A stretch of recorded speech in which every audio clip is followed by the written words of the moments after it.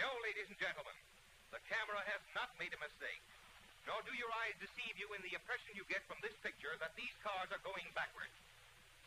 Present day motor cars are indeed going backward insofar as the efficiency of their body design is concerned. Let's take a look at motor car traffic as of the year 1925, just a little less than a decade ago. Then the average speed on the highways was 35 miles an hour, and the average automobile engine boasted a 50 horsepower motor. About the fastest that motor would drive the car of that day was 65 miles an hour.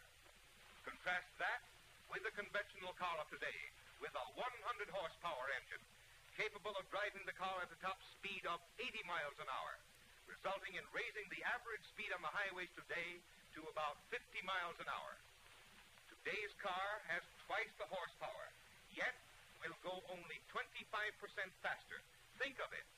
Doubling the power, giving only one quarter more speed. As the puzzle picture artist would say, what's wrong here? Has automobile speed reached the so-called saturation point? Has the law of diminishing returns run its course in the relation between power and speed? Well, insofar as conventional cars are concerned, the answer would seem to be yes, for the present day engine is already big enough. Now it occupies about one third of the space of the car, and its weight is about one quarter of the total weight of the vehicle. Obviously, people buy and use automobiles to ride in, to carry things in, and not just for the fun of hauling around a power plant. It is apparent that if any more speed is to be squeezed out of the present day car, the engine has to be relatively still much larger. In other words, the automobiles of conventional type must be more and more engine and less and less body. Anyone who has ever put his hand out of a car window and felt the pressure which the air exerted on it might have guessed at the answer to this dilemma. That it lay in overcoming air resistance quite as much, or maybe even more, in conquering ground friction. To get some idea of what wind can do, take a look at this the effects of a hurricane. Yet the wind which wrought all this havoc did not move any faster than that which goes by your car when you are driving at top speed. Carl Breer, one of the country's leading automotive engineers, had observed all these wind phenomena and speculated upon their relation to automobile design. Because he was in the employ of an automobile manufacturer who was not hogtied to either engineering tradition or artistic fetishes, he was in a position to do something more than guess at what might be done toward designing an automobile which would really take wind resistance into account. Aeronautical engineers were consulted. Among them, Orville Wright, one of the famed inventors of the airplane. The Wright brothers had done a great deal of pioneer experimenting in Dayton in what was called a wind tunnel. Small blocks of wood were mounted on a tiny chassis running on a track and were attached to a weight which rested on a post office scale so as to measure the push of the wind blown into the tunnel as it was varied, corresponding to differing speeds of travel. These little toys revealed the amazing fact that blunt blocks with rounded edges offered less resistance to the wind than blocks which were not to resemble the shape of the conventional automobile. Blocks of many different shapes were experimented with to compare the wind pressure of forms of varying contours in both horizontal and vertical planes. The engineers wanted to know just why the wind slipped around some shapes with less resistance than others. And following the well known axiom that seeing is believing, they devised ingenious methods for seeing the air in all phases of its behavior. They used streamers to mark the course of the air currents. They blew smoke into the tunnel and watched its performance as the air swept it along.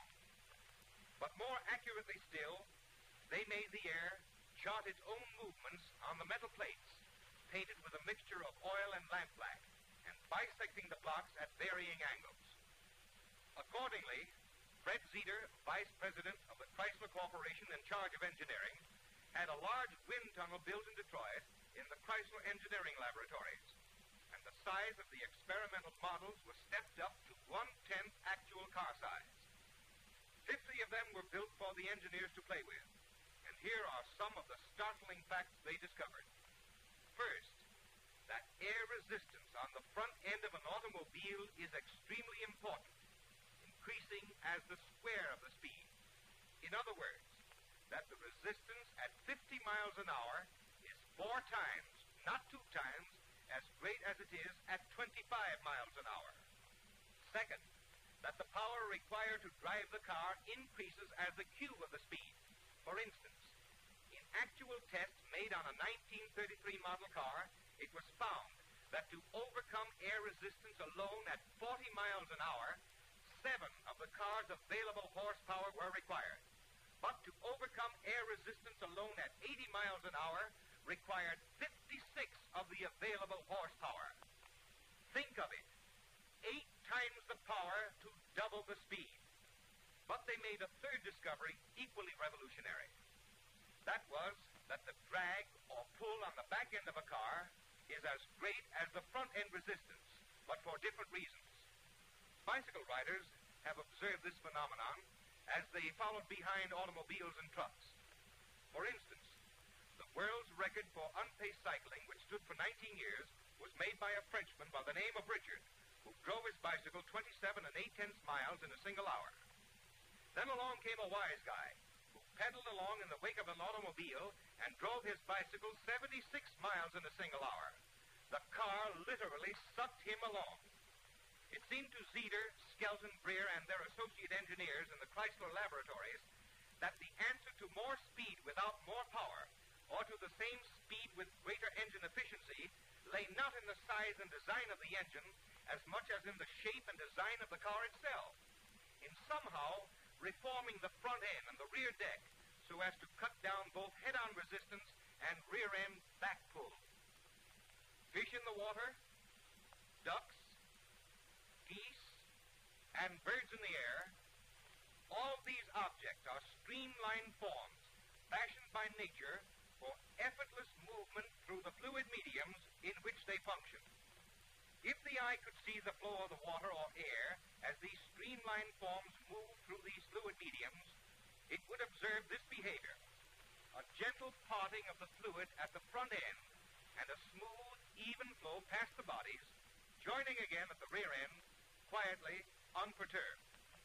On the other hand, if forms that are not streamlined are moved through a fluid medium, currents, eddies, whirlpools, or vortices are produced at the sides or rear, or both.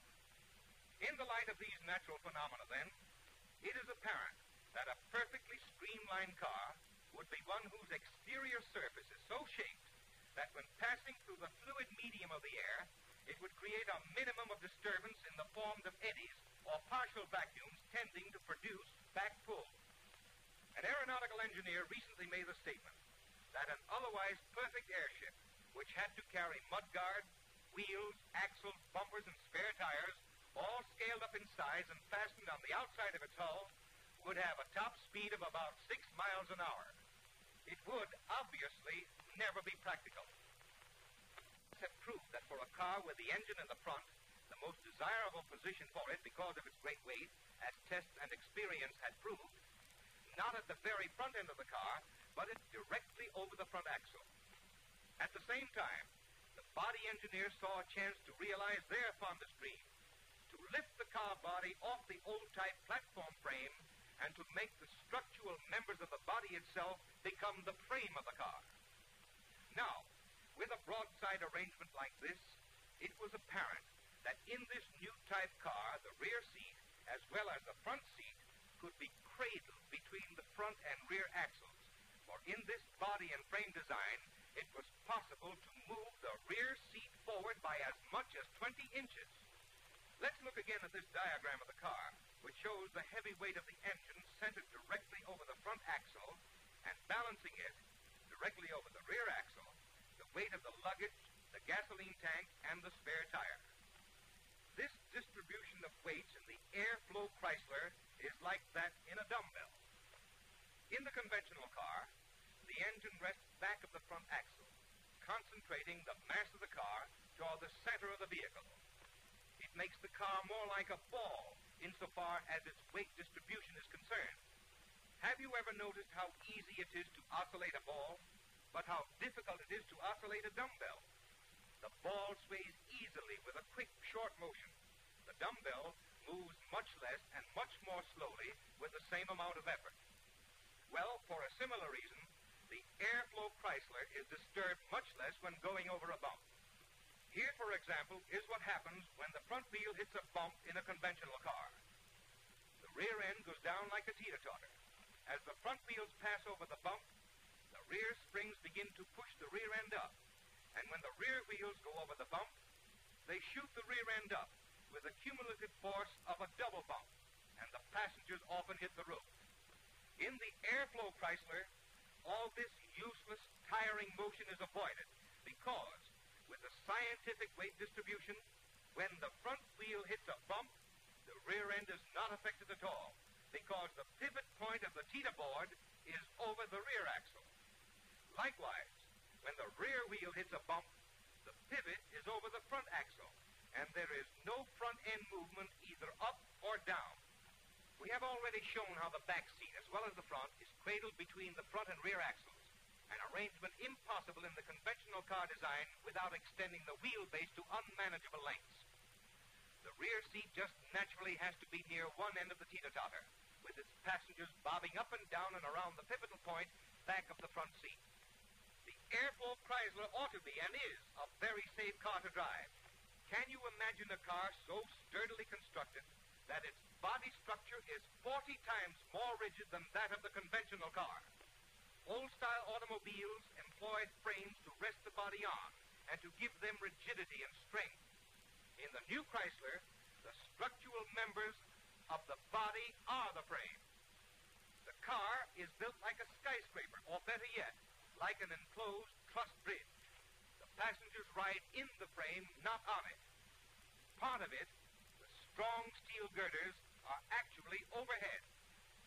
The Airflow Chrysler, with a floating ride and genuine streamlined design.